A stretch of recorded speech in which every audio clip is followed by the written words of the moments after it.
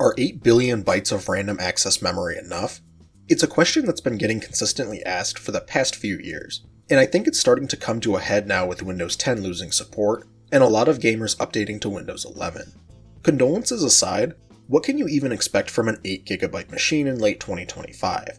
Well, surprisingly, quite a bit if you're smart, but things do look bad on the surface.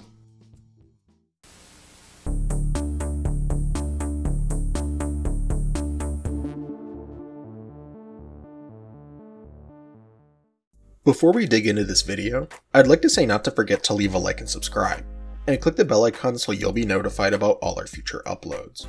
For this video, I tested three different memory kits in four configurations to achieve the capacities we'll be discussing.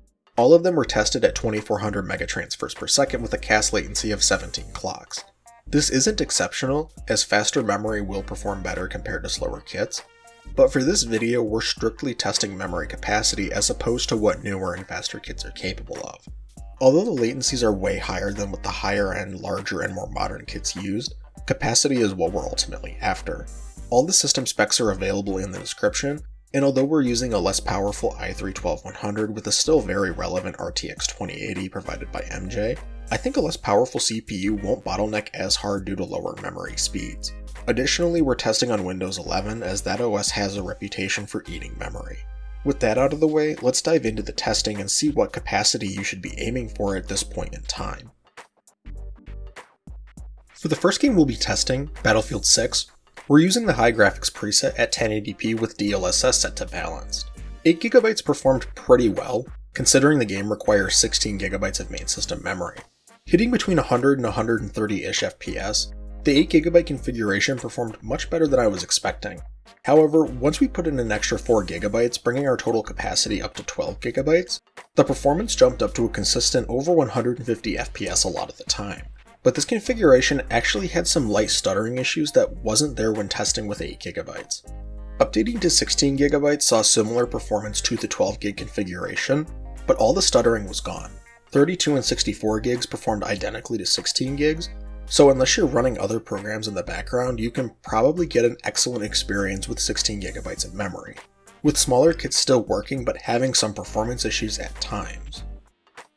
For Cyberbug 2077, and even though we're testing at 1080p at the lowest settings, with DLSS set to CNN mode at the balanced preset, we actually didn't see massive performance degradations at any capacity besides 12 gigabytes.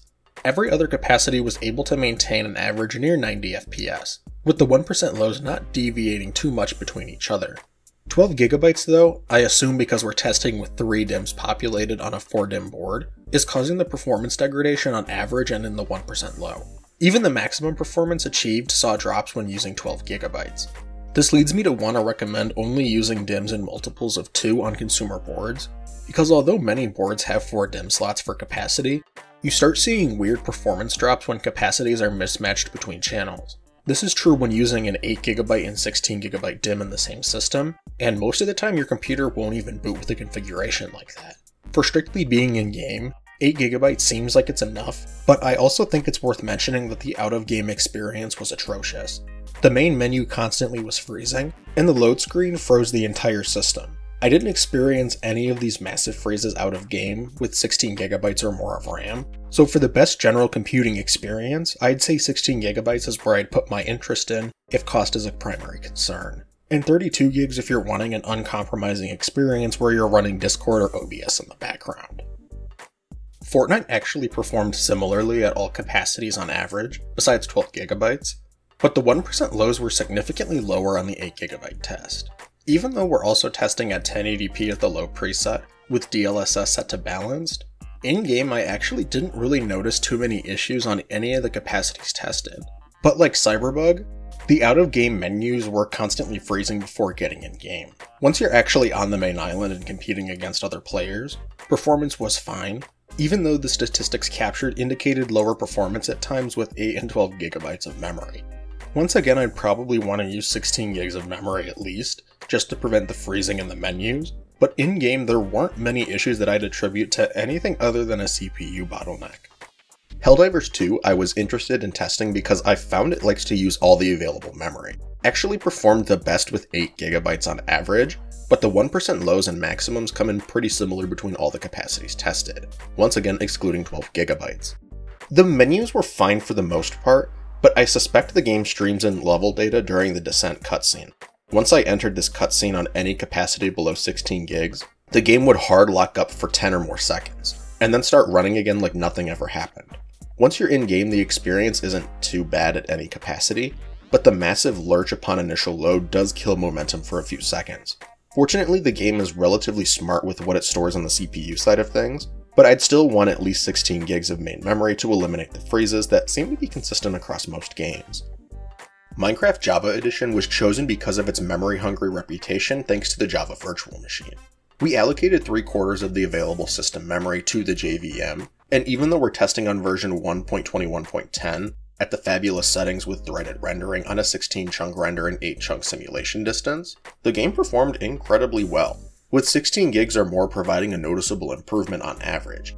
8GB came in with an average and 1% low of 337 and 62 FPS respectively, with 12GB coming in very similarly, achieving 335 and 74 FPS. But once the memory capacity reached 16 gigs, the average performance jumped up to 361, with the 1% low coming in at 135. This 1% low seems to be an outlier, but the performance was hanging between 330 and almost 400 FPS a vast majority of the time, with 32 and 64 gigs also performing similarly, only with the 1% lows slightly depressed.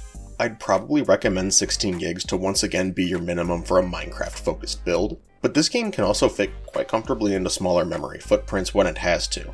Keep in mind this game was also originally available on both the Xbox 360 and PlayStation 3. The last game we'll be testing actually has a warning that pops up if you launch it with less than 16GB of main system memory. Oblivion Remastered. Thankfully, it seems a lot of the memory leaks that happen during regular program execution have been cleaned up. And as a result, we can achieve playable results on 8 and 12 gigabytes, but the 1% lows definitely suffered. 16 gigs and above saw similar performance on average and with the 1% lows, so once again I think this game will run perfectly fine with 16 gigs or more of main system RAM. The speed of your RAM also seems to help this game a lot if you're hot swapping data from secondary storage consistently. While 8 and 12 gigs do technically work, as in the game can be played, it at times stammers very heavily, leaving me to want to recommend 16 gigs of memory even if it's slower. Okay, so what the heck even is RAM? Well, with modern sticks of memory, it's a technology called Dynamic Random Access Memory, or DRAM. There are two types of RAM that make up the different levels of your system's memory hierarchy. DRAM, like what's found in DDR DIMMs, is memory that requires refreshing and is typically made of capacitors. You'll have gigabytes of this in your system. And static RAM, or SRAM, built using purely transistors. This will compose the caches and registers inside the various chips inside your system. Both these types of memory in modern computers are volatile, meaning that they lose data once power is lost. There are forms of non-volatile memory available, Optane being the one that comes to mind immediately, but you'll commonly use NAND flash or magnetic hard disks as your non-volatile secondary storage as opposed to memory. SRAM is typically used in modern chips to build caches and hardware buffers or registers. It is quick, but is more expensive per bit because it requires 6 transistors, thus increasing complexity, the physical footprint of each cell, and ultimately the end cost. Even older systems used to use SRAM as main system memory because of how quickly you could access it. Usually this was limited to at most a few megabytes, however with modern capacity requirements, DRAM becomes the superior technology to produce at scale because it requires less square footage per bit. Your system will end up mixing and matching SRAM and DRAM, with SRAM making up the smaller instant access caches, and DRAM giving you the gigabytes of relatively quick access and high capacity for everyday usage.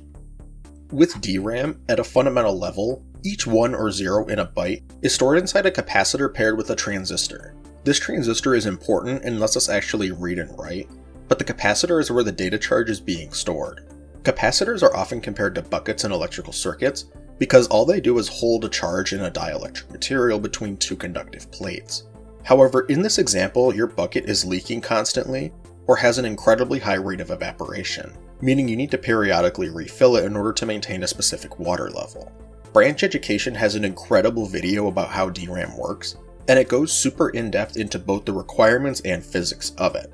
For the purposes of this video, just know that DRAM and SRAM function differently and are useful for different use cases. DRAM is what DDR DIMMs and GDDR make use of, with the different generations supporting differing bank configurations, speeds and timings, and also capacities. As for what you'll need for a PC build in 2025 and going into 2026, I think 8GB of main system memory is truly starting to hit the limits of its usefulness on Windows 11. 12GB does improve some of these issues related to capacity, but just going for 16 gigs fixes literally every issue I've encountered. The enormous lag spikes when loading into games, to occasional stutters seen when swapping data in and out of RAM. 16GB are probably the sweet spot for DDR4 builds, in the sense that they were plentiful on the market and are really all you'll probably need for everyday computer usage where gaming is the most intensive thing that you'll do on it. If you're looking for DDR5, I would probably just go for a 32 gig kit of memory, despite it being expensive, because DDR5 needs all the available bank groups populated to achieve its peak performance. For everyday usage, 16 and 32 gigs are perfectly adequate, but for some light content creation, I would tend to prefer 32 gigs. 16 gigs still would work perfectly fine if you're working smartly, meaning you don't have tons of background apps open and actively in use. Even though I personally use 64 gigs, I mostly do that for programming and video editing. When I'm using DaVinci Resolve, I'm not gonna lie, I've never seen the program use more than 29 gigs of RAM, so I probably could get by just fine with 32 gigs. As for the ultimate operating system question, yes, Linux works perfectly fine with 8 gigs of RAM. Even the new bloatware distro, Mint, idles at like 2 or 3 gigs of memory usage with things like Discord and Chrome open in the background. Meanwhile, Windows 11 will idle on the desktop with nothing open at almost 7 gigs for a system with only 8 gigs of RAM. The easiest and most straightforward way to conserve memory usage is to turn off unneeded startup apps. Now, this also brings up the fact that Windows 11 is a lot more dynamic in what it's storing in memory. What I mean is that when I actually boot up a game, Windows seems to allow certain processes to free up memory. This means that the game will start will probably take a little while to load, but once you're in game and playing, it's kinda normal. The game will use however much memory it's designed to use, and then once the application is closed, Windows will just balloon back up to like 7 gigs. It's almost like the OS is putting some threads or processes to sleep, writing them to the page file, and then waking them up when the application runtime ends. It's just a theory, but it would explain both the gluttonous behavior Windows displays towards RAM, and how you're still able to play games somewhat well on 8 gigs, albeit slightly depressed compared to larger memory capacities. You could probably get some lower OS memory usage with a special custom Arch Linux distro, but just be aware that Windows will use more memory at times, but it can also free up some of what it's doing when a game is launched. It'll cause a stutter or momentary freeze when initializing and or loading, but the meme-worthy blue screens when memory is full isn't really a thing on modern Windows. 16 gigabytes is more than enough to game on Windows 11, and I'd stick with that general minimum no matter what kind of build you're going for at this point in time. 32 gigs is another nice step up, but considering the current exorbitant memory prices, I'd probably stick to 16 gigs if you're already on a budget. 64 gigs is just unnecessarily overkill, because by the time your everyday computer will require that, the current memory speeds and technology will be archaically slow. If your system already has 8 gigs of memory, luckily RAM is designed to be upgraded or interchanged, and it's seriously one of the easiest parts of your system to swap out or add more to. This ultimately brings up the question though, is 8 gigabytes of VRAM enough?